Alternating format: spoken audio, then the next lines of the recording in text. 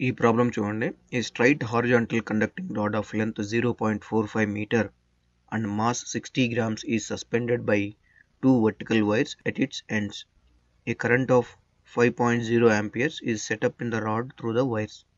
What magnetic field should be set up normal to the conductor in order that the tension in the wires is zero?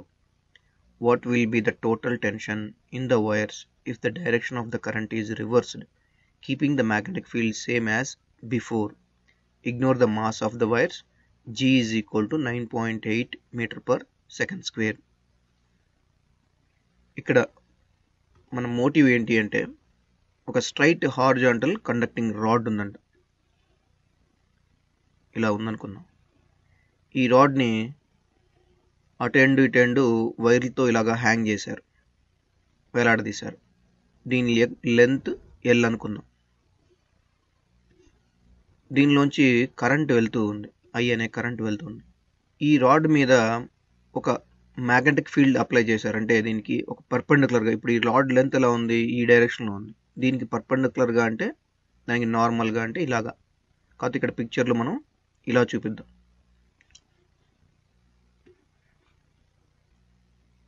Magnetic field apply చేశారు.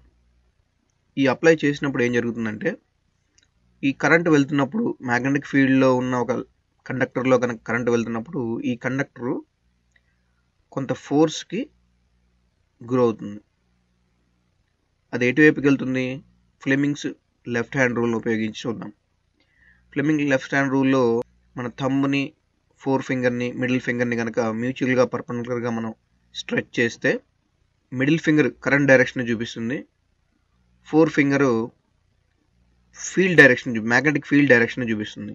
ఇప్పుడు ఈ కేసులో ఇక్కడ current ఎలా వెళ్తుంది? ఏ నుంచి B వెళ్తుంది అనుకుందాం. ఇలా వెళ్తున్నప్పుడు దీన్ని నార్త్ దీన్ని సౌత్ అనుకుందాం. మ్యాగ్నెటిక్ ఫీల్డ్ ఇలా వెళ్తుంది అనుకుందాం.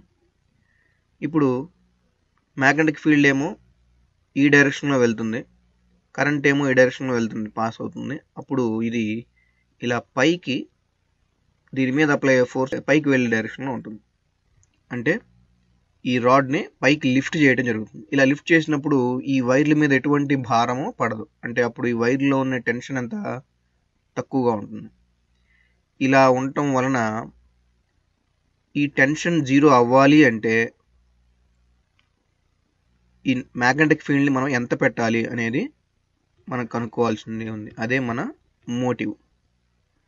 ఒకవేళ కరెంటుని కనుక రివర్స్ చేస్తే ఇందులో వెళ్తున్న కరెంట్ని రివర్స్ చేస్తే దీని మీద అప్లై అయ్యే భారం ఎంత? ఈ టెన్షన్ ఎంత అనేది మనం కనుక్కోవాల్సింది. టెన్షనల్ ఫోర్స్ ఎంత అనేది మనం కనుక్కోవాలి. ఈ రెండు మన మోటివ్స్. ఇక ఇన్వెస్టిగేషన్ పార్ట్కి వస్తే length of the rod. Length of the rod L is equal to zero point four five meters అలాగే mass of the rod M is equal to sixty grams that is equal to sixty into ten to the power of minus three kilograms అలాగే G is equal to nine point eight meter per second square అందులో వెళ్తున్న current I is equal to five amperes మనం కనుక్కోవాల్సింది magnetic field అలాగే tension ఇప్పుడు resolve చేస్తున్నాను.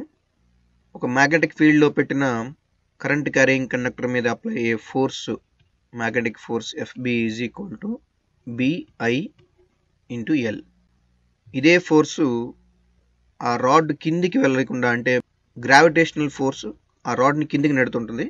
ఈ magnetic force రాడ్ని పైకి నెడుతుంది. అలా చేయటం వలన ఆ వైర్స్లో ఉన్న టెన్షనల్ ఫోర్స్ జీరో అవుతుంది.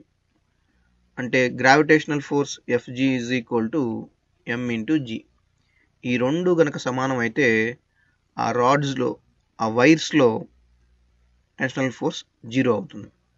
So BIL is equal to M into G మనకి బి కావాలి. B is equal to M into G by I into L that is equal to sixty into ten to the power of minus three nine point eight divided by five amperes into